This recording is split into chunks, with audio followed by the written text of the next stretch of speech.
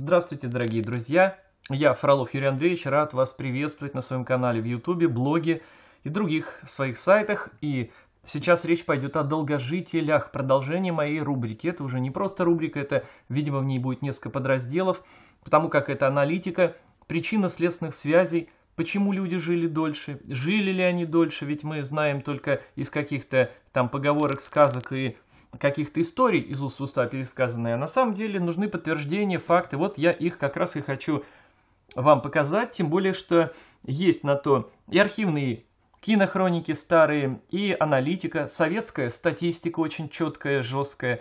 Это все есть. Э, также я хочу не просто это вам рассказать, а донести, как я это делаю, э, последнее время делал, вот, например, на данном фильме, я сейчас его вам покажу. Помните, недавно вышел у меня такой фильм «Долгожитель Абхазии». Я взял за основу фильм э, документальный, кинохронику советскую 48 -го года. И не только там было из двух разных фильмов, и проанализировал то, что э, вы увидели с точки зрения многих факторов, которые я мог учесть, которые приводят к увеличению либо уменьшению продолжительности жизни. Сейчас мы продолжим эту рубрику. Скоро совсем вы услышите э, продолжение данного фильма. Хотя, скажу честно, сегодня хотел я рассказать в данном фильме уже во второй части э, этой подрубрики о долгожителях Чечни и Ингушетии. Но это в следующий раз. Кстати, сегодня посмотрите обязательно до конца. Будет очень интересный, я бы сказал, такой заманчивый анонс – потому что уж правда есть на что, поверьте мне, посмотреть. И ждите этот разбор э, фильма о долгожителях Чечни и Ингушетии в следующей серии. Давайте сейчас я немного покажу вам э, значит, ваши отзывы, и я за них вам благодарен, дорогие друзья. Вот как пишут нормальные люди. Сейчас я объясню, к чему я это сейчас вам говорю. Вот, спасибо за интересный обзор, за такую находку. Спасибо, теперь я подумаю, как, какую жизнь я хочу и что для этого сделать что, а что не делать, да, чего нет. Вот это очень ценное, кстати, одно из самых, я считаю, потому что, ну, это мужество надо найти в себе, сказать, тем более кому-то сказать, что действительно мне надо пересмотреть, я хочу, я понимаю, как я живу, то есть вот это. Но это главное, что я хочу как раз вот донести, чтобы люди задумались, а как мы действительно живем сейчас? И жили ли так наши предки? И как они жили? Вот давайте об этом вместе будем смотреть, думать, анализировать, делиться своими мнениями. Вот как раз э, еще я пожалуйста, впечатлен, особенно если сравнить их с современными доходными и долгодоживателями. Вот это вот очень ценная мысль. Ведь действительно, сейчас в основном посмотреть на тех, кто доживает 90, 100, я уж э, говорю о том, что редко кто 100, но тем не менее, как живут эти? В основном это очень уже больные люди, тяжело больные, которые действительно доживают. Вот тут этот термин уместно, жаль его произносить, но это факт. Но это не, совершенно не значит, что нельзя жить здоровым долгие не просто 100 лет, а и 120, и 150. И вы своими глазами, что самое главное, те, кто является Фомой неверующим, увидят это, и тому подтверждение, тому уже нельзя будет, как бы, так сказать, дешево себя обмануть и других, что, мол, ну, тогда ничего не важно, я ем, пью, все, что подряд, приходится все равно, так сказать, лучше прожить мало, но, кстати, об этом мы сейчас поговорим. Ну и вот другие ваши комментарии, их очень много, я благодарю. Конечно, я понял, что рубрика интересна, что вы хотите, чтобы я ее продолжил, так и сделаем. А теперь давайте посмотрим, что меня побудило вот этот первый фильм, который я только что вам вот, собственно, показал, который вы, наверное, я надеюсь, смотрели, а кто нет, обязательно посмотрите. Что побудило меня взяться за его создание, за вот эти комментарии к ним? А вот что. Значит, когда-то именно э, к одному очередному фильму, показанному на РЕН-ТВ, где э, перечеркивался нормальный здоровый образ жизни по сути своей, питание, питание живое, растительное, веганское вообще, вегетарианское, где глумились очередные умники, диетологи, врачи и просто журналисты, журналюги, их таких журналистов назовем, и прочие, совершенно не относящиеся к, э, ну вообще, к теме данной с каким-то хоть пониманием, а только с чувством какой-то глубокой брезгливости, ненависти и так далее, персонажи разные твердили э, о том, что э, сыроедение, вегетарианство вредно, что надо есть мясо и прочее. Я как-то, знаете, подбирая материалы, ну, чтобы помимо своих слов что-то еще показать, сказать, э, взял и решил показать вот этот сюжет. Я когда-нибудь это сделаю, анализ вот той мерзости, что по РНТВ показали. И э, пока лишь этот сюжет вам поясню, для чего я его взял. Вот смотрите внимательно.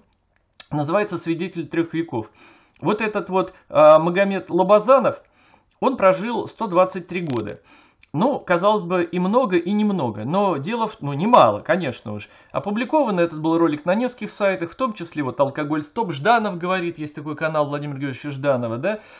И вот тут канал, ну, всего 4 комментария, однако очень важный один из них. И вот посмотрев его, знаете, он меня как задел, что я решил снять вот тот первый из данной рубрики фильм. Давайте посмотрим этот комментарий. Сегодня я на эту страничку еще раз зашел, и он мне даже ответил.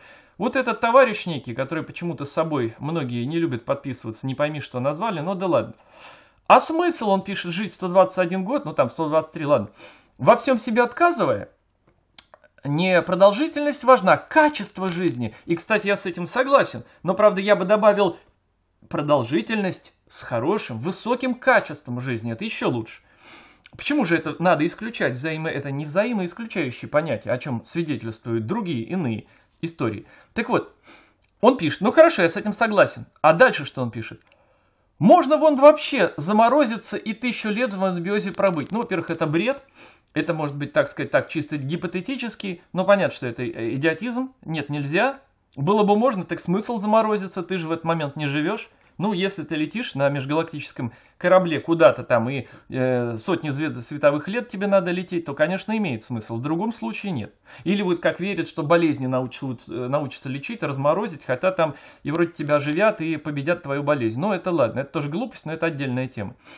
Ну что он дальше пишет? Уж лучше бухать и курить и кутить лет до 70-80, чем отказываться во всем и жить типа до 123. Ну, во-первых, если ты будешь пить, курить, кутить, то хрена с два ты проживешь сейчас, дядя, 70-80 лет.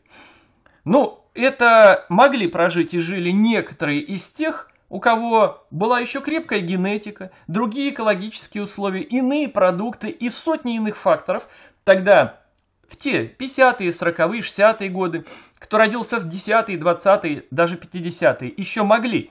Но кто уже сейчас, а я думаю, это достаточно молодой, судя по глупости, которую написал человек, то не проживешь ты, товарищ дорогой, и 50, если ты будешь так курить, пить. Дай бог 40.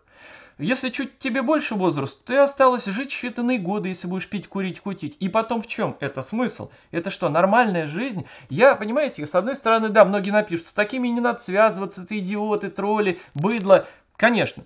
Но понимаете, в чем дело? Ведь они создают некий не то что настрой, как бы расслабляют тех людей, которые еще на перепутье, которые могут сказать, а, действительно, пошло все и так далее, и полетят в пропасть. Я вот не могу, да потом меня, вот это, знаете, несправедливость, у меня же такое обостренное чувство справедливости, и вот это вот глумление над разумом человеческим меня бесит. Что значит «уж лучше»? Это нельзя сопоставлять. Не будет 70-80. И что значит жить как скотина? Но я ему написал так. Это так вам проще свои вредные привычки питания а, оправдать, чтобы успокоиться и жить как хочется? Непродуктивно. Неужто непонятно, что плохо себя чувствовать он начал не в 80 лет, вот этот человек, а в 115 где-то, а он действительно себя сейчас чувствует, ну, чувствовал на тот момент видеозаписи, я вам кусочек сейчас покажу, не очень хорошо. Ну, потому что да, это вот тот самый, как говорится, переходный, но, скажем, такой, знаете, я бы сказал, в народе период, вот тех годов, когда он родился, и какие годы он застал уже немножко иной жизни, что его и привело этого человека, определенные трудности, сложности и питание определенное неправильное, к тому, что он хоть и прожил 123, но действительно последние годы жизни этот человек жил, ну, не очень качественно, скажем так, что и позволило почему-то, непонятно почему, неразумному человеку такое написать. Ну, на что он мне ответил? Настоящие мужики курят, пьют водку, дерутся и трахаются, поэтому нужно жить по-настоящему. Значит, я не буду, я бы ответил устно сейчас, наверное, по-другому, и грубо, и сильно, так сказать, но не буду, я вот написал, вот кто хочет, может прочесть. Уж не знаю, что он напишет, кстати, вы туда, я советую, дорогие друзья, придите, может быть, тоже что-нибудь напишите. Ну, попробовать вразумить, да, наверное, бесполезно. Но бывает все, я с этим сталкивался, бывает, что люди все-таки под, э, знаете, такой мощью четких, точных фактов, логики, все-таки здравый смысл у некоторых из них берет верх. Может быть, и в данном случае это произойдет. Ну и так вы прочтете, поставите на паузу. Итак, давайте посмотрим фильм, я поясню, а дальше вернемся к тому фильму 48 -го года. Я вам покажу новых а, интересных долгожителей. Я, мы проанализируем еще раз с вами, во-первых, их жизнь. Во-вторых, я расскажу вам несколько, дам как бы ссылок, название книг, исследований. А, очень интересные вещи расскажу еще о долгожителях Абхазии. Например, о, о танцевальном коллективе, где были сверхдолгожители. Я вам покажу некоторые даже кадры оттуда. И сделаю очень интересный анонс будущих э, вот этих вот моих э, видео о долгожителях. Итак, давайте посмотрим про Магомеда Лобазанова, что про него сняло телевидение, в данном случае Пятый канал. Но важны именно слова и применимо к нашей теме, к теме, например, еще и вегетарианства, веганства. Давайте послушаем. В тяжелое время они заменили ему мясо, а потом он от него и вовсе отказался. Речь идет о, э, опять-таки, кукурузных лепешках. Так вот, после войны он отказался от мяса, и более 70, сколько уже там лет прошло, э, никакого мяса он не потреблял, то есть он вегетарианец. Да, конечно, движения его не так уже сильны и точны, и, конечно, он с палочкой ходит сгорбившись. Всю Магомед работал физически, в депортации лес валил, по возвращению в колхозе землю пахал. В последние несколько лет просто у себя в огороде трудился. Несмотря на всю свою уникальность, ни Магомед Лобазанов, ни его семья никогда не обращались в книгу рекордов Гиннесса. Говорят, и так все уже знают о его долголетии, секрет которого – правильное питание и никаких сигарет и алкоголя. Ну, естественно, что бесит тех, кто пьет, курит, знает, что это, конечно, плохо, хотя и будут выпендриваться на публику, понимают подсознательно, что это ну, плохо, низко. Конечно, понимают, что это вредно. Конечно, поэтому и пишут именно таким образом. Лучше, так сказать, вот пить, кутить. Так ведь это же не жизнь. Это быдло так только живет. Человек так не живет. Человек должен что-то творить, создавать, строить. Но ведь э, созидание и алкоголь, курение – это противоположные понятия. Ведь это разрушение, это деградация. Для любого разумного человека это безусловно понятно. Ну и тем не менее, вот человек жил, прожил достойную жизнь, но нет, чтобы порадоваться и понять, по крайней мере, не глумиться над тем, что, мол, вот, ну да, прожил, это факт вроде бы, ну хорошо, себе типа во всем, да он не отказывал. Он жил нормально, как ему хотелось. Ему нравилась и эта пища, ему нравилось, что он нормальный трезвый человек, что он живет, созидает, что его уважают в округе и так далее. И своим примером показывает положительный пример для воспитания детей, внуков, праправнуков. А какой пример показывают те, которые бухают, курят, развратничают? Это, это же не человек. И это уже опустившееся ниже животного уровня существо, потому что у животных нельзя говорить как скотина, потому что, извините меня, там все закономерно и понятно, и все логично. Почему, зачем, это продолжение рода, прочее. Нам не более того, но в той извращенной, глумливой форме, в которой пишут вот такие люди, это унижение человеческого достоинства, это растаптывание высокого понятия и звания человека. Ну что ж, теперь давайте мы с вами переключимся, собственно, на тот э, фильм, на который вот это был в прошлый раз, а теперь мы с вами продолжим. И вот этот уникальный фильм 48 -го года, научный, я включу, далее буду ставить паузы и, собственно, комментарии свои давать. Итак, начнем. Сейчас вы увидите отдел статистики в Советском Союзе, особенно при Сталине была очень точная, выверенная, абсолютная э, статистика всего. Кстати, у нас в стране она была лучшей в мире, это факт. И вот отдел медико-санитарной статистики. Отдел медицинской и санитарной статистики Министерства здравоохранения СССР. Сюда поступают сведения о старейших гражданах нашей страны. В Советском Союзе насчитывается около 29 тысяч стариков в возрасте 100 и более лет. Несколько десятков из них живут в Москве. Старый москвич Матвей Петрович Слезовский, ему 111 лет. Бывшая ткачиха Евдокия Ивановна Демина, 103 лет.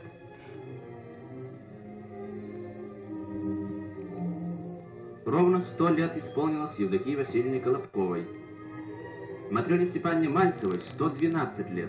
Она родилась в 1836 году. Это серьезно. Кстати, дорогие друзья, коль уж про это речь зашла, вот вы понимаете, о чем тут еще важно сказать, тоже для аналитики.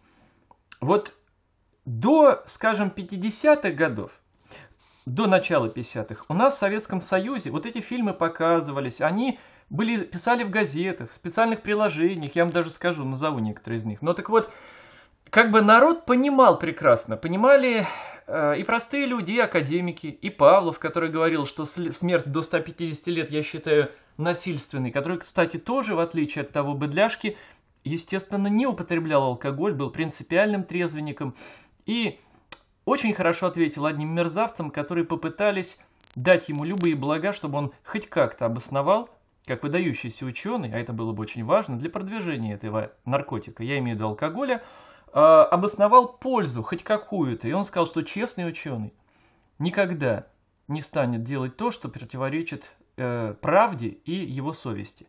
Ну так вот, это, это, вот это и есть настоящий мужик. Это ответ тому идиоту. Ну хорошо.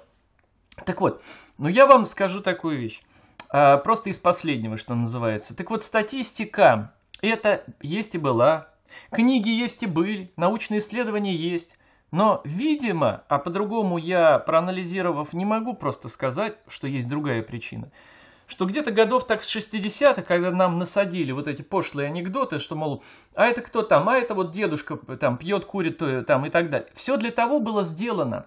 Когда создали эту теорию сбалансированного, вернее, извините, культурного умеренного питья в 60-х годах, и бросили ее, так сказать, широчайшее вот это применение, э, ездили лекторы, объясняли, что с чем пить, это все было сделано врагами нашего народа, чтобы уничтожить его. Ну и, конечно, тут нужно было исказить факты. Показать, что пьют вино, преподнести редчайшие случаи употребления вина, например, в Абхазии, действительно, и сразу вам тут скажу, а как быть с долгожителями, например, Чечни, Ингушетии, где 200 лет последних они в мусульманстве?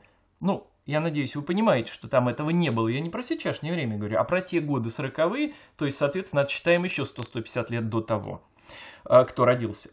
Так вот, ну и кстати, безусловно те, кто употребляют алкоголь и даже в иных идеальных условиях проживают 110, 120 лет, если бы они не пили, поскольку алкоголь это протоплазматический яд, наркотик, универсальный жирорастворитель, который повреждает клетки, туда проникают яды, токсины, которые в том числе влияют на генетику и так далее. Вышибаю ее во втором, в третьем поколении.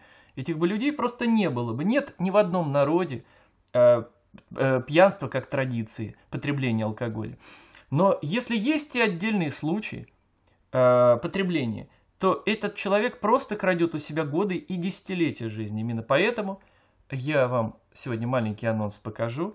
Но тем не менее скажу наперед, что были долгожители, которые, например, среди тех, кто, естественно, никогда в жизни не потреблял ни капли алкоголя, которые жили гораздо больше Мансура Киута, который вот здесь показан, самый старый в Абхазии долгожитель на тот момент. Потому как были, которые проживали и за 150, и за 160 лет. Но об этом мы поговорим в других наших э, передачах. Но я хочу сказать главное здесь, что всему есть причины и следствия.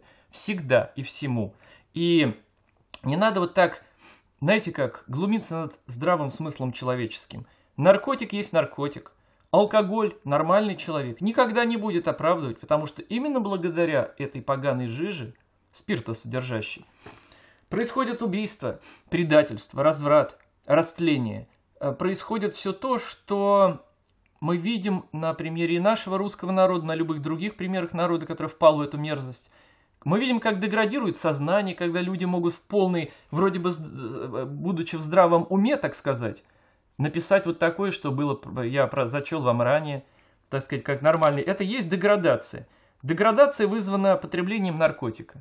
А глумится ли, хочет ли человек хорохориться, нет, неважно.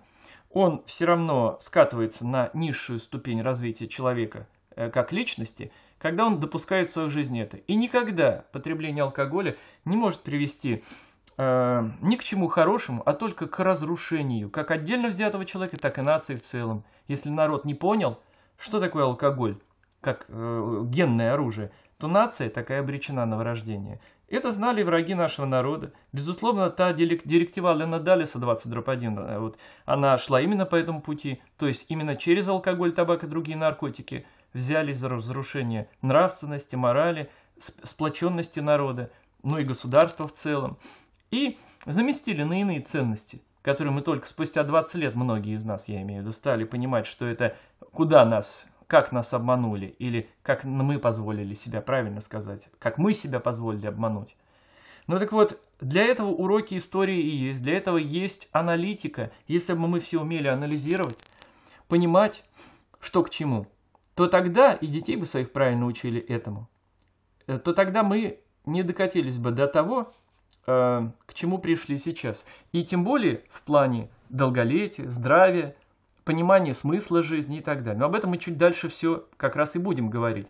Так вот, говоря о москвичах, статистика ведь тоже. Вот даже Центр геронтологии.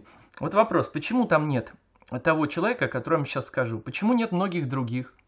Почему с где-то 60-х, 70-х годов стали глумиться? Ну вот на тему сначала перевели, люди-то знали, что были 150 лет жили, здоровые, и все, так сказать, ведут здоровый образ жизни. Нет, надо было дать людям такую, как бы это сказать, ложь, что, мол, можно жить, вон, и пить, и курить, и жить 150 лет, ну, условно. И вот всячески пошли в народ, а кто их вбрасывает? Их сбрасывают те, кто придумывает для определенной цели. Вот эти пошлые анекдоты, которые уводили людей в сторону, якобы посмеясь, э, э, проблему вроде бы и не замечаешь, и нет проблемы, а это страшно, а значит ты уже пошел по наклонной пути вниз, так сказать, в деградацию. И ты уже не проживешь, а твой ребенок, а его ребенок, то есть твой внук, уже точно не проживет, еще меньше. И вот так генетика и вырождается. И это четкая работа. А в 70-е годы мы уже забыли про тех 150-летних. Мы слышали, где-то знали, что вот 105, 106, что-нибудь такое. И то еле-еле доживают, вот о чем как раз этот товарищ говорит. Что же, если возраст, значит все больной человек. Так лучше умереть молодым. Вот что нам дали. А если ребенок не общается, маленький, ну, родители, как правило, заняты, дедушки бывает тоже, а прадедушки, пора прадедушки, вот откуда мудрость-то берется. Вот когда в семьях жили, а это на селе, в одном, как говорится, доме или разных, но в одной деревне или рядом, и общались, и вот эта та ценная связь, вот эта путеводная нить, которая с поколениями, с родом связывала молодого маленького там мальчика, девочку, которая росла, потому что те бабушки и дедушки, которые жили по 120-150 лет, а их было много и везде были, я в своих Вообще посмотрите, не ленитесь мои все лекции о долголетии в моем разделе в блоге про долголетие, потому что там я провожу не только вот про жителей там народы э, кавказские, но и про русский народ. Кстати, вот давайте еще раз приведу вам пример. Баранов, такой купец из старобрядцев, вот последний из рода, э, умер в прошлом году в возрасте 119 полных лет, на 120 году жизни в Москве. Он прожил всю жизнь в Москве. Я о нем рассказывал в каком-то из своих видео. Где его, почему нет, почему не знают, по телевизору показывать надо. Ну, не хотят показывать, ладно. Так вот, э, пожалуй, продолжим. Сейчас будет очень интересная информация про жителей Белоруссии. Когда-то даже по телевизору промелькнуло про бабушек двух. Еще жили они в зоне Чернобыльского поражения. Одна из них 125 лет вот было, умерла. Э, ее младшая сестра немного ей было меньше, жива была на тот момент, это лет 10-8 назад было. Ну, давайте послушаем дальше и будем дальше думать. Более 600 столетних стариков живет в Белоруссии. Старейшей жительнице Белоруссии, Марии Николаевне Кузьмич, 135 лет. Вот вы думаете, 135 лет. Вот она, Кузьмич Мария Николаевна. Значит, э, ну что, тут можно сказать, это серьезный возраст. Кстати, есть документальные хроники, когда Сто лет Бородину отмечали. Э, к Николаю II с семьей привели, привезли тех, кто участвовал в Бородинском сражении, то есть воевали сто лет назад. Родились многие из них при Екатерине II. И хроника запечатлела людей, которые родились аж в 18 веке. Это есть. Какой образ жизни они вели, это известно. И я буду обязательно об этом рассказывать в следующих своих передачах.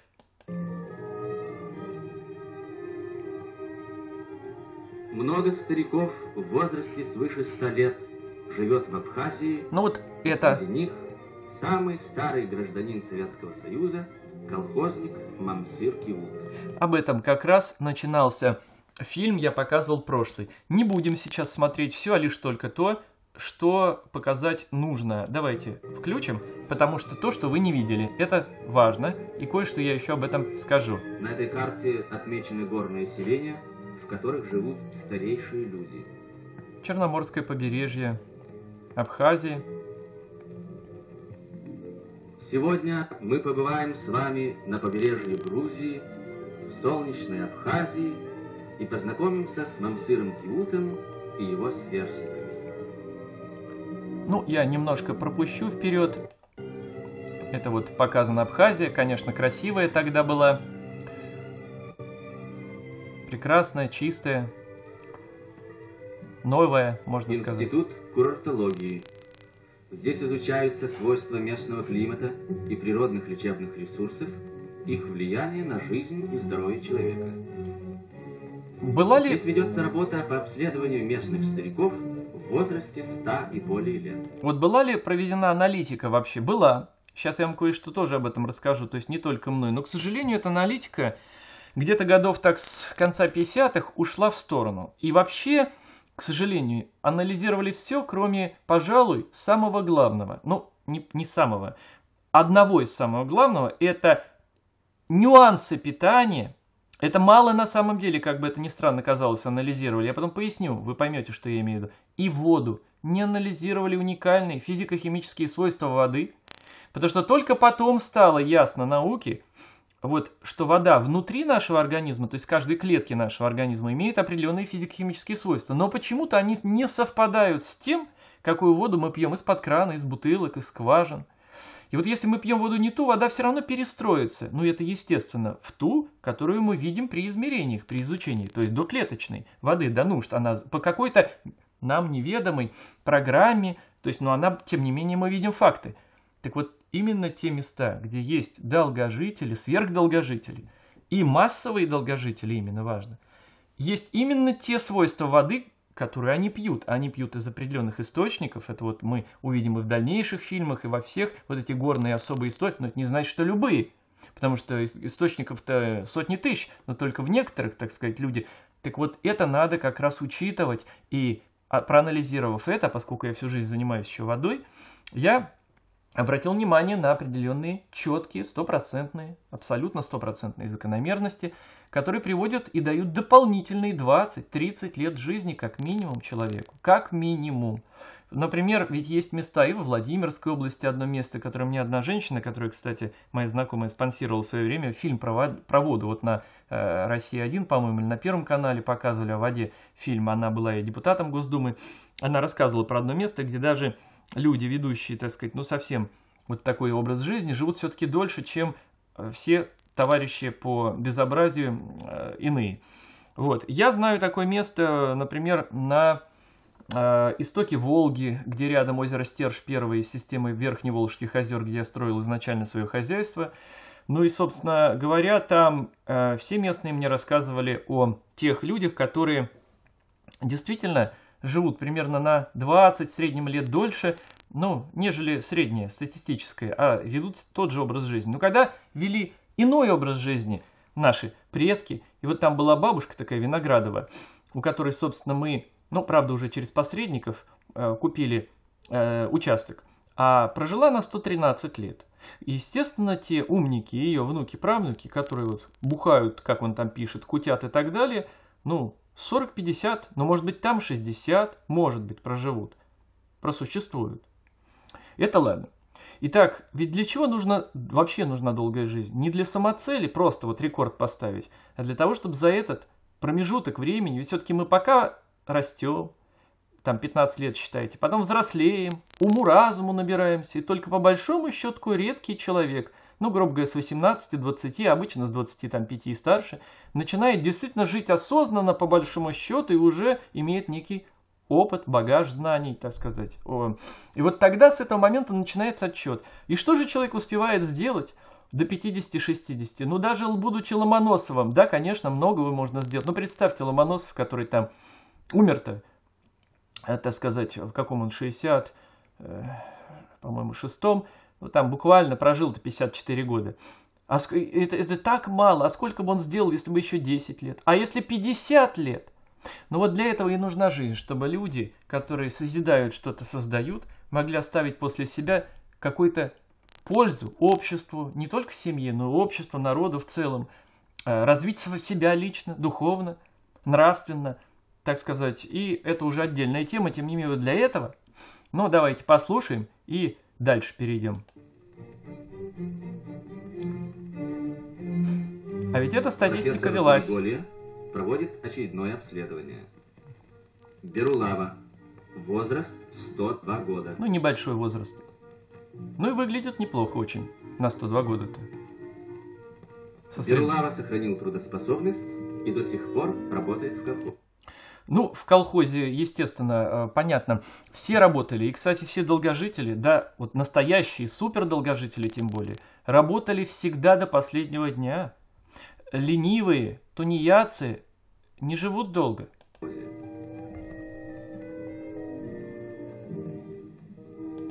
Что касается интересных еще людей, вот давайте, например, я вам поставлю особых интересных людей, вот, например, вот этого. Мингрелец Задзамия Коция. Ему минуло 116 лет. 116 лет я бы сказал... Смотрите, как уверены его движения. Да, эти же самые как слова. Как сильны его руки. Как сильны руки. Руки неутомимого труженика.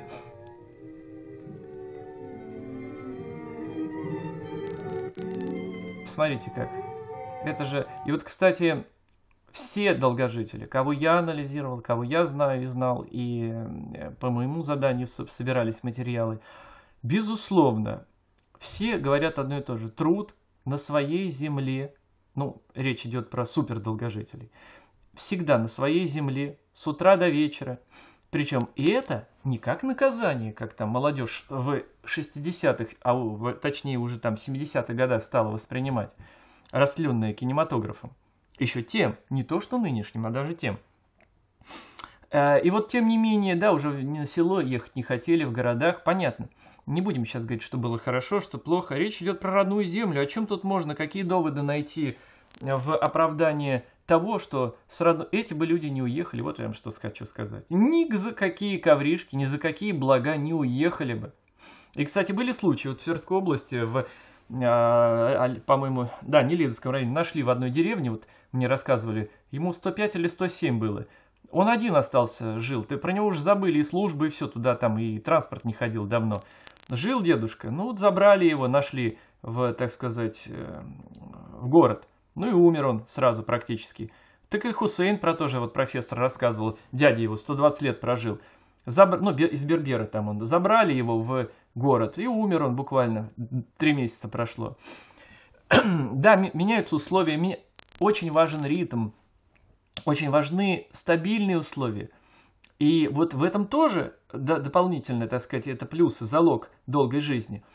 Скоро я вам про это расскажу, а в конце сделаю некий такой подыток. И тем не менее, вот посмотрите, да, э, что характерно. Ведь они не выглядят на свой возраст. Э, и, безусловно, на то много факторов, очень много. Их мы как раз суммируем сегодня. Вот качество жизни, а то, что говорил тут... Обследование стариков Абхазии дает ценный материал по изучению возрастных изменений в организме и тех условий, которые обеспечивают активную, бодрую старость. Ну вот этого долгожителя мы видели с вами в прошлой эм, э, серии. Я хочу сейчас сделать э, такую маленькую паузу. И для чего я хочу это сделать? Ну, во-первых, вот что я... Это важно, нужно сказать. Во-первых, конечно, особый интерес всегда исследователей вызывал именно долгожители Абхазии. Причем не только у наших отечественных, но и у японских, американских, ученых из Канады. И вот, например, была в свое время очень известная книга, э, побывавшей в свое время в Абхазии, американки Полы Гарп. Называлась эта книга так и называлась «Долгожители». О чем она там рассказывает? О судьбах людей, о условиях жизни, быта, труда, культуры в нашей стране. Значит, это, конечно, эм, особенно. Вот эм, дело в том, что Особенный интерес вызывает созданный в 1948 году при Доме народного творчества в Абхазии этнографический ансамбль долгожителей. А знаете, чем он интересен? Эти участники возраст их интересен. В общем, он был самому младшему 70, а самому старшему, внимание, 130 лет. 130 лет. Не на смертном одре, так сказать, и вот как э, еле сгибаюсь, а вы понимаете, танцы. Я покажу вам потом в следующих сериях очень много интересных фильмов на эту тему. Но сейчас э, я вам э, покажу маленький отрывочек. Покажу и с орденами георгиевскими стариков. Ну, в общем, по 120 и 130 лет. Ну, в общем, вы поняли. Хорошо. Так вот, значит, мы с вами сейчас еще посмотрим интересные видео. Услышите вы о участнике и увидите его своими глазами русско-турецкой войны 1875 года, его соседа, кому он завидует, ну это в шутку, конечно, завидует, это диктор так говорит, и тоже понятно почему. Вы это увидите, потому что на высоте 15 метров на дереве переплетенные лозы виноградные, он снимает виноград, ему 107 лет. Вот ему он завидует, этот 120-летний участник русско-турецкой войны. Кстати, его жене 102 года, и она, э, так сказать, жива не только здорова, увидите, как она выглядит. Вот, теперь смотрите. Что еще важно сказать? Я же обещал, что я э, сошлюсь еще на какие-то... Ну вот книгу сказал, выполнил. Теперь, значит, е, при, э, был, значит, академик Александр Александрович Богомолец. И вот научные труды проводились изысканием с 37 по 38 год в Абхазии. Состояние здоровья стариков. Материалы эти э, были на конференциях специальных обнародованы, ну не обнародованы, но для членов Академии наук и так далее. Да? Это изучалось. Другой вопрос, что потом это под сукно все положили. И по сути люди уже уверовали в то, что сто лет это предел мечтаний, да и то, ладно, последние 10 лет будешь к кровати прикован. Вот эти больные ассоциации не нужны, они вредны. И это совершенно не соответствует действительности, как вы сами видите и прекрасно помните того 125 лет на коне дедушку. Так вот, значит, это возможно? Значит, наверное, прав Павлов, который говорил, что смерть до 150, я считаю, носитель прав, академик Углов, который тоже не без оснований полагал, что и 140, и 150 лет это не предел человеческой жизни. Они-то знали, они это видели, анализировали. Но, к сожалению, не все. Потому что вот и академик Углов, к сожалению, к сожалению, потреблял э, да и мясо. Но дело не только в этом. Какие экологические условия последних э, вот, десятилетий жизни в крупном городе, в мегаполисе, в Петербурге? Какое питание? Он же не ел со специальных столов или каких-то там это все те факторы, которые убавили ему десятилетия жизни. Ну и хотя он не употреблял алкоголь, не курил, это дало ему эти жизни. То, что он делал добро, жил для людей, так сказать, был высокодуховным человеком, нравственным, высшей степени, порядочным. И это, это все дало ему дополнительные годы жизни, много чего. А генетики там никакой. Кстати, про генетику мы поговорим. У него родители мало жили. Мало. Рано и мама, и отец умер. Рано. И, кстати, к этому выводу приходят многие исследователи, что генетика здесь играет одну из самых последних ролей. Но именно вот условия жизни, ареал обитания, вот эти факторы, которые влияют в местной жизни, это да, это совершенно другое дело. Так, хорошо. Итак, мы говорим, э, да, в этой книге и в этих докладах там, документах, вот кто что может найтись, кто хочет изучать, пожалуйста, изучайте. Нет, я буду это постепенно публиковать, э, так сказать, анализировать, вот делать такие выкладки. Хорошо, значит, я подробно об этом расскажу и, может быть, даже выложу некую еще статью чуть позже. Вот, тем не менее, например, вот расскажу я вам такой факт э, о долгожителях Абхазии, которые родом не оттуда. И это, кстати, тоже в том числе доказывает, не единичный случай, доказывает то, что не рождение на месте влияние имеет самое большое, а именно образ жизни все-таки человека. Итак, например, был такой крестьянин Николай э, Капковский. Так вот, когда ему было почти 140 лет, а жил он в селе Пам, Пата, значит, в Абхазии он вместе с родителями поляками по происхождению переехал, всю жизнь работал пастухом на местных богачей, женился, имел много детей, а вот в 1927 году французский писатель Анри Бербюс такой, он приезжал в Абхазию, посетил и этого долгожителя. Тогда этот долгожитель был уже третий раз женат, значит, жене шел 82 год, Самой младшей дочери было 26 лет тогда.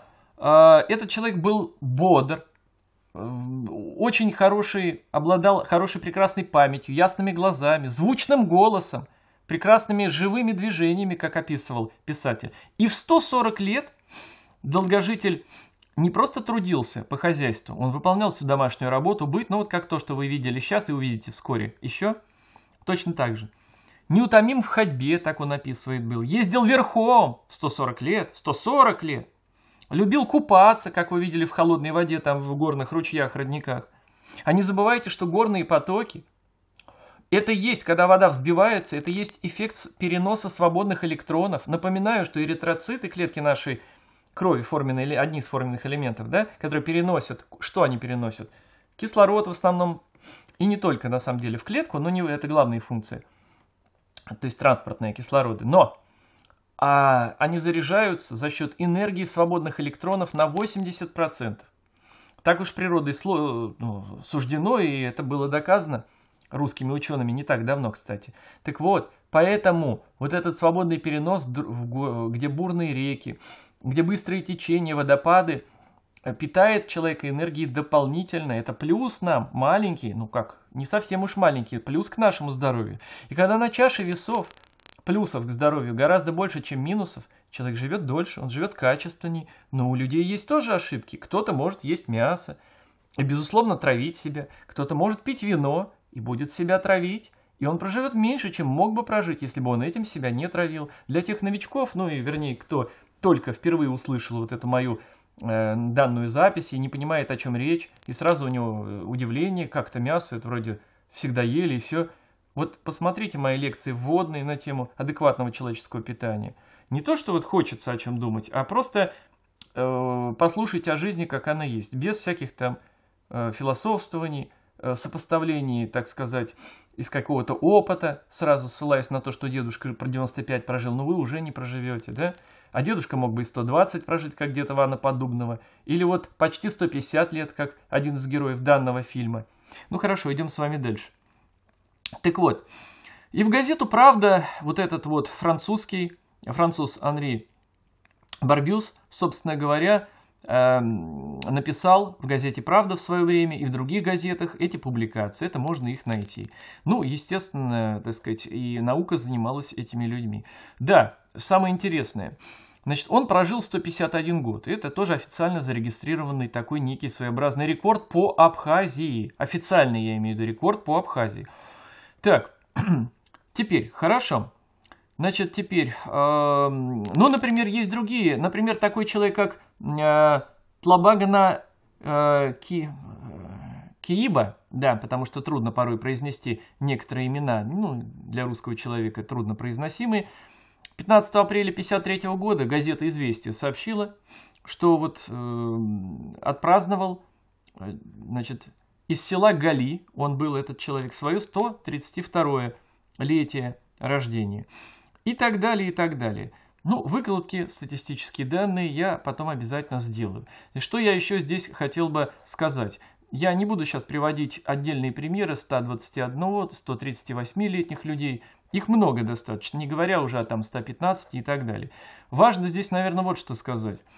Эм, примеры долгоживущих людей, например, Абхазии, как выясняли и те исследователи, на которые я приводил уже примеры выше – пришли к заключению такой, что зависит ли, был поставлен вопрос, долголетие от наследственности.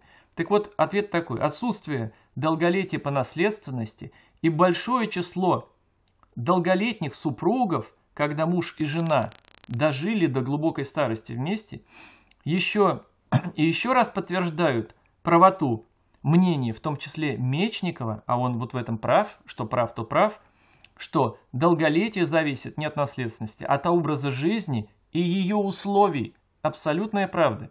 К чему и я пришел, проанализировав ну, гигантское количество информации э, за разные годы, десятилетия, столетия. Ну хорошо, тогда давайте с вами посмотрим дальше этот фильм. Посмотрим сейчас именно то, что, ну, собственно говоря, вот куда шел этот 109-летний старец. Он шел к своему внуку, ну, я в прошлом э, выпуске это не показал, на шахте он работает. Ну, можно, конечно, немножко посмотреть. действительно жизнь менялась тогда. Вот кто-то скажет к лучшему, к худшему в Ну, плане, Аршбы Шахтер, депутат Верховного Совета. что шахты не СССР. нужны, как Он Стерлигов скажет. задание своей первой послевоенной пятилетки и работаешь в счет второй. Но страну надо было восстанавливать. А люди трудились, они считали это Сегодня правильным. опять может порадовать деда. Его бригада снова впереди. Старый Аршба доволен. 109 лет, посмотрите, как выглядит человек. Вот что важно, да? Он гордится, что внук не посрамил чести их рода. Честь их рода. Вот о чем думать надо, когда люди, с позволения сказать, пишут то, что я вначале зачитал. Что мужики живут, чтобы пить, кутить и так далее. А может быть, вот чтобы не посрамить честь рода, защитить свою родину, вырастить хороших, честных детей, порядочных. Я просто поражаюсь, да, коли вот можно вот настолько заниматься и саморазрушением, и ведь разрушением и рода своего, и так далее. Ну, помните вы кадры про кузнеца 102-летнего, который в кузне, да? Помните про вот этого аксакала, которому 125 лет на коне верхом вы его видите? Ну, а теперь давайте посмотрим вот что. Мы на усадьбе Кана Цагурия. Ему 120 лет. Кан Цагурия инвалид. Инвалид. Он участвовал в русско-турецкой войне 1877 года, был дважды ранен в грудь. Вы представляете, дважды ранен в грудь, 120 лет. Русская турецкая война 75 года. Он рожде- значит, какого он года рождения? До 1828 года рождения. Уже был не то что юношей. Сколько потом прошло десятилетий? Трудно, что называется, сосчитать. И 25 лет до 1900 года. И еще 17 лет до революции. И еще потом после революции уже 30 там с чем-то лет прошло до вот этот момент, так сказать, вот этой вот кинохроники. Жена Кана Мысугда, ей 102 года. 102 года. Посмотрите, как она выглядит. 85 лет супруги Цагурия состоят в счастливом браке. 85 лет в счастливом браке. Вот не это ли, не для этого ли живет, как он говорит, мужик? Или мужчина, женщина, мужчина? Не для этого ли живет? Не это ли или есть счастье?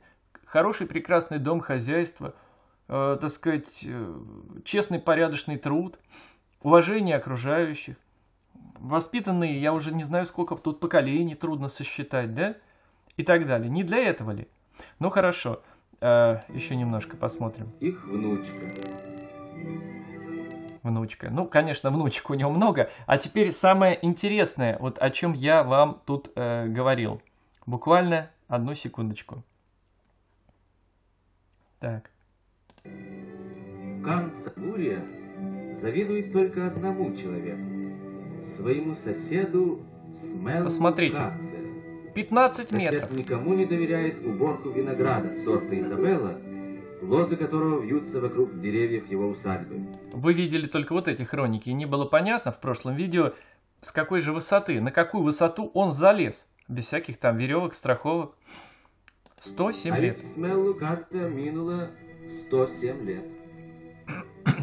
Тот инвалид, поэтому, ну, конечно, не завидует. Это так, э, так сказать, диктор сказал, ну, с пониманием того, что и все поймут, что, конечно, ну, чувство зависти этим людям, этим уже мудрым людям, ну, не знаком и гложет это чувство на самом деле, поэтому и не живут люди сильно завистливые уж так. Э, Белой завистью это одно, порадоваться за человека, можно сказать, применить это слово в таком смысле.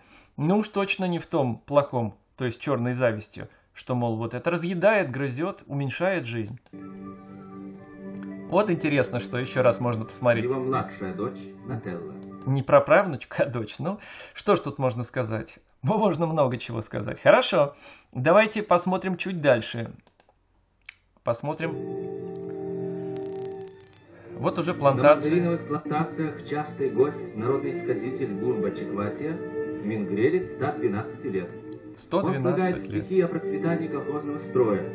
Был тесен мой мир, но радостный труд поднимает ввысь человека, как орла над горами. Вы только посмотрите, вообще, что касается, знаете, что тут главное понять. Вот еще раз, качество вот кожи, да, малое количество морщин, движение точное, никакого, как говорят сейчас, тремора или что-то подобного. Без, что э, эти люди живут, конечно, на чистом воздухе. они пьют вот эту уникальную воду именно в тех местах, поэтому и сосредоточены до центра. Это проверено, начиная от севера до... Я, кстати, пожалуйста, я сделаю еще видео на тему, например, по Вьетнаму, я сделаю по совершенно другим разным странам и континентам. И везде мы будем видеть одну и ту же зависимость. Вы потом это, кто еще не понимает, поймете. Ну и вообще всем это будет интересно, я так полагаю. Здесь же, вот посмотрите, это труд, это надобность, нужность человека. Но это тоже важные факторы. Наравне со всеми. Посмотрите, какие движения. И, кстати, посмотрите, сколько прекрасных фруктов, конечно, в то время экологически чистых, на прекрасных плодородных почвах. Посмотрите, и это, это люди любят это дело, любят свою землю, любят свой труд. И, конечно, это очень сильно придает им а, вот этих вот сил, энергии и, безусловно, питания. Ну, как вы полагаете, дорогие друзья, вот без всяких мудрствований лукавых, живя в таких благодатных краях, а исследования проводились, эти, в том числе в тех книгах, везде черному по белому, да это и так понятно, даже можно это и не читать по сути. Вот имея такое количество разнообразных прекрасных фруктов, вот едят они фрукты, да, они в основном фрукты едят. Собственно, как и подтверждается, что и разумно, и логично. Да даже по всем религиям, если посмотреть изначально, кем был вообще человек по питанию, почитать Пифагора того же, плоды ели. Как и положено, потому что плоды это концентрат энергии Солнца, минералов Земли. Это самая высокая ценность и энергетическая, и иная, любая в плане и э, пищевой вообще ценности, в плане энергии строительного материала, потому что это изначальное органическое вещество, еще не тронутое на цепочке вот этих переработчиков этой первичной энергии, я имею в виду консументов первого, второго и так далее порядка. Чем дальше человек стоит по или любое живое существо, тем на пути вот этой цепочки пищевой цепи экологической, да, э, от изначального первичного, так сказать, вещества в природе, тем меньше он получает энергии и строительного материала, тем меньше он живет, тем менее продолжительной и качественной его жизнь по-любому. И только лишь комбинации в ту иную степень, то есть лучше, хуже, то есть я имею в виду факторы, более отрицательные, сильно они, продолжительно ли они действовали или менее продолжительно, будет зависеть, безусловно, продолжительность и качество жизни.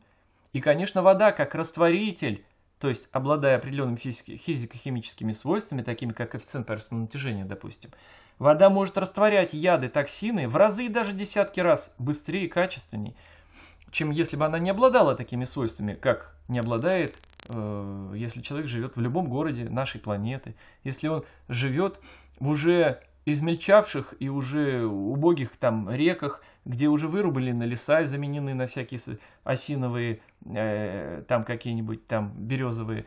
А, а вот это вот все как раз нарушение природы и привело к этой общей так сказать, деградации. И вот той самой генетики разрушения, если мы говорим о некой э, непередаче чего-то негативного информационном плане через свою, как сказать, гены, которые дают начало новой жизни. Тут больше даже не генетика, а некая такая волновая, я бы сказал, характеристика уже, нежели... Потому что это ведь все более теоретические понятия на самом деле. Здесь, конечно, не то имеется в виду под генетикой, вообще, когда мы говорим, что непосредственно передается... Вот мы запускаем всего лишь ну, жизнь, а ведь живой человек, вот это самое живатма, то есть я, единая неделимая частица Всевышнего, что называется, это одно, это душа, которую еще взрастить надо, укрепить, которую надо развить, и вот для этого нам жизнь дана, поэтому чело, человек данный, чело данное навек.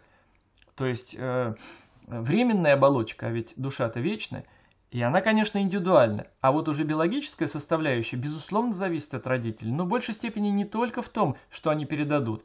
Конечно, если алкогольно поврежденная клетка, и туда проникают яды, токсины, меняют генетику, а алкоголь это растворитель, он жировые вот эти мембраны, липидные оболочки растворяет, если женщина, например, в течение всей жизни хоть каплю алкоголя пила, то вполне может именно та половая клетка, яйцеклетка, быть именно использованная для зачатия, из которой будет рожден ребенок. И вот тогда рождаются с мутациями, рождаются с генетическими изменениями, физи физическими из изменениями и с отклонениями, э, так сказать, в развитии, с органическими изменениями и так далее.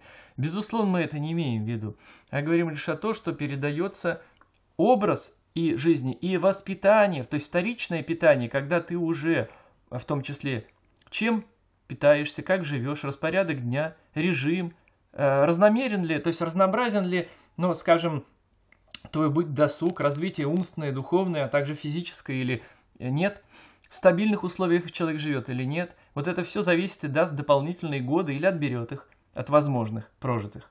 Много сказок и легенд сложено в веках о несметных сокровищах этого края. Старые сказки становятся былью в наши дни. Посмотрите, какая красота. Вот они, золотые дары советских субтропиков. И еще раз, дорогие друзья, помните, что на плодородных почвах, и не просто плодородных, а это надо назвать выше уровнем плодородных, потому что минеральный состав – это то единственное, что мы с пищей либо получим, либо никак не получим э, внутри организма своего. А минералы, микроэлементы особенно, их очень много разных, они очень нужны для многообразных биохимических процессов и для гормональной системы нашего организма. И если чего-то не хватает, то в течение лет, особенно десятилетий, имея дефицит, обязательно начнутся болезни. С щитовидкой или с иными, с поджелудочной, неважно. Это помимо того, что я еще не сказал, очень важный фактор – это про паразитов.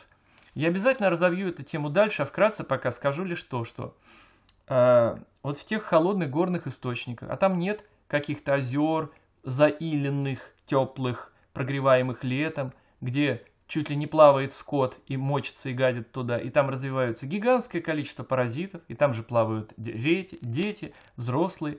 И потом, имея определенных паразитов, мы теряем десятки лет жизни. И поэтому, конечно же, э, в тех местах, э, где вот эти чистые источники, холодные, где люди не могут подцепить очень многих паразитов, и продолжительность жизни выше. Это тоже один из очень важных факторов. Посмотрите обязательно у меня в блоге лекцию от 13 мая 2014 года о паразитах. Обез... 4,5 часовую. Обязательно посмотрите. Уж, наверное, это важнее, чем пойти и посмотреть какой-то сериал по телевизору очередной. Или даже заняться там своим бизнесом. В конечном счете, для чего мы живем. То есть вот, ну это так, просто мой совет. Посмотрите, вы просто поймете, что к чему. Это тоже важный фактор. Вот я вам сказал еще, потому что именно в данных местностях, а это и горы э, азиатских регионов некоторых, и не только, и хунзы, и прочее, потому что не заражаются определенными видами, как в Сибири, например, поголовно апистархозом или лемблиозом, как это в южных частях где-нибудь там от Крыма до, э, э, ну, скажем, какого-нибудь черноземного вообще пояса России, это, например, те же эм, э, ну, вот, в реках плавая или в прудах в теплых прогреваемых шистосомы, которые могут по, посмотреть, и не буду сейчас говорить, что это такое. То есть на все есть причины, и это дополнительные факторы. Но когда такая пища великолепная, то, конечно же, э, и в основном она, то, конечно, люди и будут жить дольше, и это объективно. Так, что я хочу вам сказать эм, в заключении. А давайте-ка вот что я вам скажу, а вернее сначала покажу, а вот потом уже, пожалуй, и покажу расскажу, вернее, да? Так, это я вам показывал, а покажу-ка я вам вот что. И это будет маленький анонс. А то мы, знаете, кто-то ведь действительно находятся люди, которые говорят, ну как же, вот насчет того же вина. Еще раз вам скажу. Ну хорошо. Да, при всех тех условиях, что великолепно чистый воздух, и не просто чистый, а с высоким содержанием свободных электронов, высокогорье среднего периода где-то, ну, такого 100, 1200-2000 метров в основном долгожители такого уровня живут, э, где гораздо разветвленнее кровеносная система за счет уменьшенного содержания кислорода в воздухе. Это тоже важный фактор, более густая сеть кровеносная. Это активнейшая их э, быт, то есть постоянная ходьба, работа по, так сказать, бесконечным огородом и так далее, поход за кувшином за водой, как вот мы увидим в другом фильме, как ритуалы каждодневные, дальние, казалось бы, зачем, и так далее. То есть физическая работа, то, что питание какое у них, и тем более преимущественно фруктами. И еще раз говорю, на 70-100%, ну кто как, от 70 и выше, эти люди питались живой растительной пищей, без исключения, причем выращенной, своими руками, выращенной вот здесь и сразу съеденной, а там совершенно еще и энергия эфира вот та самая, значит, есть, то есть это дополнительно э, заряд энергии, безусловно.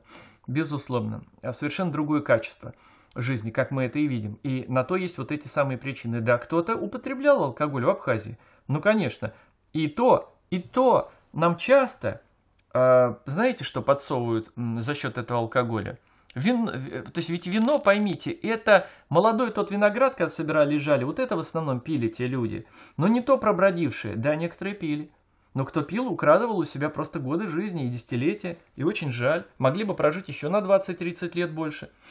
Так вот. Ну а мы поговорим сейчас о маленьком моем анонсе будущего фильма. Это уже речь идет про Азербайджан, про э, ингушей в том числе. И, кстати, я расскажу про одного интересного ингуша, про последнего жреца э, ведического, то есть языческого, по-другому можно так сказать, ну, чтобы было более понятно для большинства, э, который прожил 157 лет. И, кстати, очень бы порадовалась, ну и порадуется, конечно, кто-нибудь ей покажет, и, может, я пришлю, я имею в виду Маргу Вагаршакову Наганян, про вот эти очистительные голодания. Особенно она, как рассказывала раньше, старые времена, 40 дней на воде, вот как раз он проводил эти очищения. 40-дневный, о чем свидетельствуют те именно люди, кому сейчас за 90, кто его знал. А умер он не так давно достаточно, ну в 30-е годы, в начале 30-х. А родился он еще в 1700, там, 70-х, 80-х годах. Ну, я просто сейчас не помню точно, да он 157 лет прожил. Вот. Про его жизнь, быт, про нюансы, которые, к сожалению, не учитывают люди некоторые, многие. А вот теперь давайте посмотрим, тут происходит такое некий сакральное действие, ну, праздник, родился новый ребенок, но кто главный здесь? Родители? Ну, конечно, родители главные, но не совсем. И вот давайте посмотрим, уж тут речь не про алкоголь, не про табак, э, не идет. Но, безусловно, э, есть другие, у некоторых людей из долгожителей отрицательные были э, так сказать, в жизни факторы, которые уменьшали их жизнь. Конечно, поэтому и не все жили там 120-150 лет. Но анализируя сверхдолгожителей, видно, что насколько они учитывали, вот как тот, например, ингуш, который, собственно говоря, загаживая определенными там, веществами, ну, неважно, свой организм, проводил вот эти уникальные очистительные процедуры – но, конечно, это нельзя сравнивать с теми, которые мы у себя дома сейчас в наше время можем провести с, с этой-то водой. А вот с той, да, получалось и у тех людей, в тех условиях. И тогда омоложение происходило по сути своей. И люди еще могли жить долго, достаточно неправильно живя, по, по сути своей. Это тоже надо учитывать. Ну, давайте посмотрим вот на эту красоту. Ну, за сто лет им за сто лет вот родился ребенок в семье. Тоже за сто лет. Посмотрите, что сейчас будет. Победитель в этих скачках получит право дать новорожденному имя. А кто скачет? Этим лихим джигитом давно перевалило за сто лет. Вот так, дорогие друзья. Ну, мы с вами посмотрим очень много интересного в следующем фильме. Я вам покажу о строительной бригаде долгожителей, средний возраст которых 100 лет. Э, много чего интересного вы еще увидите. То есть насчет качества жизни, а не только продолжительности, э, мы поговорим еще не раз. В заключение же я хочу, знаете, что, наверное, сказать? Подвести такой некий итог, что всех тех долгожителей и супердолгожителей Кавказа, да и не только, на самом деле, абсолютно не только, объединяло. Что же их объединяло? Ну, во-первых, это дисциплина их жизни, то есть распорядок, режим дня. у них не было уныния ни у кого, они хотели жить, и они не думали даже о том, что они могут умереть. Кстати, это очень важная мысль как правило, они не думали об этом, то есть для них жизнь, вот они знают, что они живут и будут. И это не просто самовнушение и настрой, это отсутствие противоположных вот этих установок на смерть. А я приводил когда-то в своих лекциях, смотрите их, пожалуйста, все, вы не пожалеете. В том числе примеры про двух своих, ну, скажем, были у меня две в свое время разные домоработницы, у них примерно была одинаковая история, мамам по 97 лет, и обе шейки бедра сломали. Ну, так вот, одна была оптимист по натуре, она даже не сомневалась, что она выздоровеет, и она выздоровела, она зажила, она ходила, все. А другая говорит, ну значит время пришло, все, уже умирать пора, она умерла. Это не значит, что это главный фактор, а ведь некоторые люди тоже, которые пытаются защитить свое неправильное питание, какие-то пагубные пристрастия, обязательно будут говорить, вот, все дело-то в самовнушении, от, а только от мыслей наших все зависит. Да не все зависит. Не все, это просто всего лишь один из факторов. И чем больше факторов таких мы учтем и применим в своей жизни, тем больше у нас будет возможность прожить дольше, э, качественнее. И вот это надо помнить. Что еще объединяет? Это строгий режим и питание и в одно время. Эти люди рано вставали. Кто рано встает, тому Бог подает. Это точно правильная пословица. До холодов спали все на открытом воздухе, на свежем воздухе прямо до самых холодов и до морозов. Значит, они не едят, как правило, сладкое, но только много едят фруктов. Фрукты сладкие, но помните, это разные вещи. Это не значит, что это сахар, и синтетический сахар нельзя сравнить с натуральной фруктозой. Это совершенно не логичные сравнения, недопустимые, по крайней мере, для так называемых специалистов. А на это опустился даже вот тот самый из Белоруссии, про который я уже сюжет снял, и тут увидел, что он создал новый где он как один придурок, которого зовут Монастырский, по кому я тоже сделал года три назад свое, так сказать, выступление. Так вот он, а по-другому, извините, уж назвать его не могу, ну ладно, простой человек глупость отморозил, но когда врач, и вот он сравнивает, берет, сыпет сахар, и все, что в фруктах и в попсиколе, считает одним и тем же по воздействию на организм человека. То есть сахаром. Это значит, не знают биохимию вообще. Это значит, они неучи и бездари. Но тем не менее лезут в проповедцы. Только вот к чему они ведут и куда за собой людей? Ну, понятно, куда. Так вот, что еще важно? Это настрой оптимистичный. Это вот этот вот жизнерадостность, жизнелюбие и эта нужность, надобность, что ты нужен семье, ты как бы вот старший в роду, к тебе уважение. Это и подпитка эгрегорами вот этими родовыми, конечно, ведь они дают своей энергии, как бы это нельзя так вот материализованно сказать, ну, объяснить вроде с точки зрения биологии, но это факт, потому что так происходит в тех семьях особенно. Ведь недаром даже тот ингуш, который умер 157, ведь его описывали, он умирал очень... Его последняя, ну, так сказать, невестка, ну, один из сыновей был, видимо, возраста не такого пожилого, вот он женился, его вот невестка, он жил у них очень плохо за ним, но, как сказать, обращалась и ухаживала, и не нужен был. И вот он уже, это описывали люди. Это вообще, если анализировать, тоже очень важный фактор. То есть надобности, нужности, значимости человека. Это, поэтому ученые, например, те люди, даже если они не нужны своей семье, бывает такое, к сожалению, то они нужны обществу, они нужны кому-то, и это продлевало их жизнь, безусловно продлевало. Умственный труд тоже продлевает отдельно, если взять этот фактор. Но мы сейчас говорим, конечно, не о вот ученых, и поэтому учитываем иные факторы. Хотя это тоже надо здесь сказать. Итак, подведя уже итог, я скажу, что активное долголетие, бодрость – это синонимы порядочной, совестливой жизни человека, труда активного, качественного воды, питания, в первую очередь фруктов, зелени, других полезных продуктов от земли, это труд на любимой земле, это нужность человека, э, это самоуважение, вот уважение близких. Я вам многое рассказывал и многое еще расскажу. Я хочу только показать вам, э, значит, особенно новым посетителям моего блога канала, вот это мой главный э, сайт, блог ufrolov.ru, вот он. Вот посмотрите внимательно. Значит, есть мои выступления в левой колонке. Наводим мышкой. Возникает очень много подразделов. Вводные лекции. Нажимайте. И смотрите четвертую снизу, советую. По паразитам то, что я советовал. Вот кто еще думает, понимает, и найдутся такие, кто скажет, так вот они молочные продукты, кто-то что-то. Давайте будем разумными людьми. Во-первых, сквашенные молочные продукты, там казина, молочного белка уже почти нет, это не творог и сыр. И к тому же, конечно, вот потреблял молочные продукты тот долгожитель, который 123 умер, потреблял. Поэтому он изгорбленный, поэтому у него есть признаки э, артроза, артритов.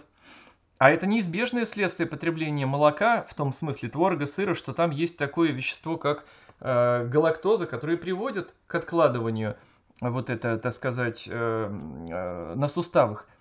Дело в том, что всему есть причины и следствия.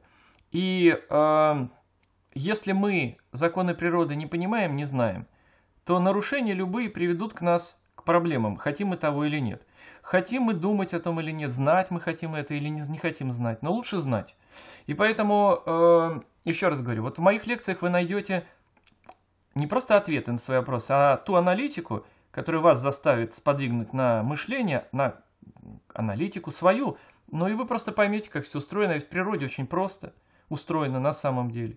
Ну вот тут есть и о алкогольной проблеме, онкологии, и вот про пароводу, э, и вот дальше пошли по отдельным системам организма. Пищеварительной, кровеносной, дыхательной, вот печень поджелудочная, да, и по земледелию, и другие у меня есть интересные здесь лекции. Ну, кто-то привык на канале в Ютубе смотреть. Смотрите на канале в Ютубе. Что еще здесь надо сказать?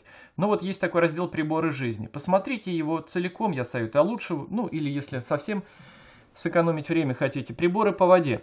Потому что вы как раз увидите тут и лекции, где как касался тем о воде, или конкретно по приборам, которые помогут вам на бытовом уровне у себя. К сожалению, мы не имеем тех источников сейчас. Но мы можем в современном мире – который мы уже изменили люди, к сожалению, но тем не менее это факт, э, хотя бы сделать качественную, а я имею в виду не с точки зрения чистой э, в плане э, вредных веществ, чтобы не было в ней, а чтобы свойства воды были близки к свойствам воды внутри клетки. И тогда мы сэкономим огромное количество энергии, ресурсов организма. Это объективно. То есть мы по сути можем пить воду ту, которую пили когда-то они, эти супердолгожители, делая ее у себя. Ведь свойства воды могут меняться, и мы можем их изменить, если мы будем знать, понимать, что мы делаем, зачем, как, и что действительно это возможно. А это возможно. Вот, например, водородная капсула онкология головного мозга. Посмотрите вот это. Ну, это о генерации водорода. Очень интересный японский фильм. Вот этот. Когда палец человек засовывает в приборы, в прямом эфире видно, как застойная кровь в микрокапиллярах. И вот он начинает дышать, водородом. И что у него происходит через 15 секунд, 20, буквально в прямом эфире, посмотрите. Ну и другие мои лекции. А вот это «Вода. Свойства жизни» как основу посмотрите. 4,5 часа идет, но это мощная аналитика по вообще воде и свойствам воды, физико-химическим свойствам. Посмотрите, я вам очень это рекомендую. Что ж, дорогие друзья, я, наверное, еще вот единственное, что скажу. Я сейчас вот на канал YouTube свой перейду. Вот если мы нажмем с вами вот на мою иконку, вот здесь такая есть, да, или внизу вот здесь, под, э, где форум начинается, мы перейдем с вами на мой...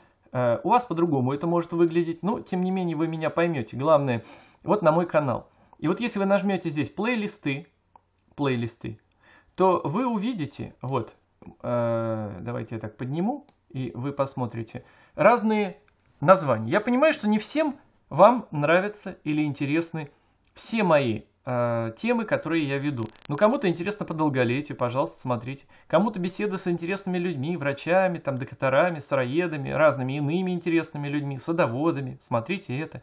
Хотя есть отдельно у меня вот как раз органическое земледелие, садоводство, огород называется. Какие-то, вот есть по здоровью, это основные мои э, лекции, все, которые я выкладываю по здоровью. Ну, не все они здесь есть. Я не все свои видео в эти разделы еще систематизировал. Вот по продуктам, вот по приборам есть отдельные. И другие. Вы можете нажать вот видео, просто нажма, нажать видео. И у вас будут открываться все мои видео подряд в хронологическом последовательности. Вот еще нажимаю внизу и открываются еще, их сотни. Я вам очень рекомендую смотреть. Ведь действительно вы найдете для себя очень много ответов на вопросы. И для людей, которые ищут, которые пытаются найти вопросы о вообще смысле жизни, не только о здоровье, о бытие, о многом ином интересном, я надеюсь, вы найдете. Ну, а помогут мне в этом интересные различные те люди, э, с кем я снимаю, я обязательно буду снимать еще много интересных бесед, репортажей. Будут и новые разделы появляться у меня в блоге, э, я надеюсь, которые вам будут интересны. Например, путешествия по русскому северу. Ну и не буду сейчас рассказывать наперед, я советую подписывайтесь на мой канал, это сделать очень легко. То есть по сути вот э, просто вы подписываетесь, э, вот здесь нажимаете подписаться, я это сейчас сделать не могу, потому что я, э, так сказать, на своем канале. Но вы понимаете, это сделать очень легко. И чем больше будет подписчиков, тем я смогу быстрее сделать, ну, скажем, что-то наподобие даже телевидения. Две студии, э, в которых мы будем снимать очень интересные передачи. Ну, а вы ставьте свои, как то говорят, э, там, лайки, ну, в общем, пальчики вверх я это называю.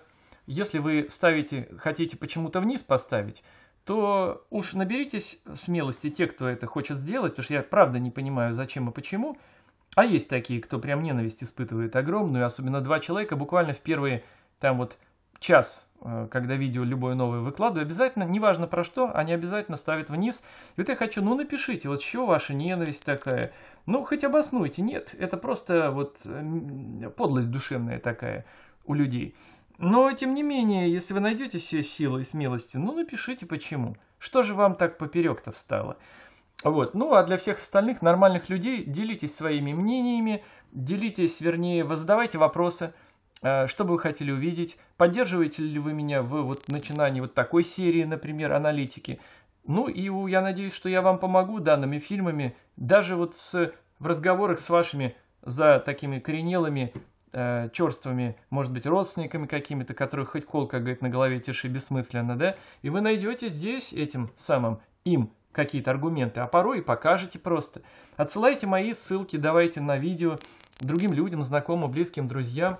Тем самым и канал будет больше людей смотреть. И мы сделаем ну, лучше, внесем в этот мир, так сказать, свою лепту в дело, надо сказать, народосбережения, да, потому что это вот как раз это дело мы и делаем. Что ж, дорогие друзья, я думаю, все, что я хотел, я сказал. Э, до новых встреч. Скоро будет, не забывайте, фильм про долгожителей. Очень интересные сюжеты. Там будут и про очень высоких, так скажем, сверхдолгожителей. Сильно за 150, которым было, вы узнаете. А, и об этом скоро. Ну а также иные. Э, мою аналитику и, так сказать, такую Обоснованную критику некоторых мракобесов от науки вы увидите.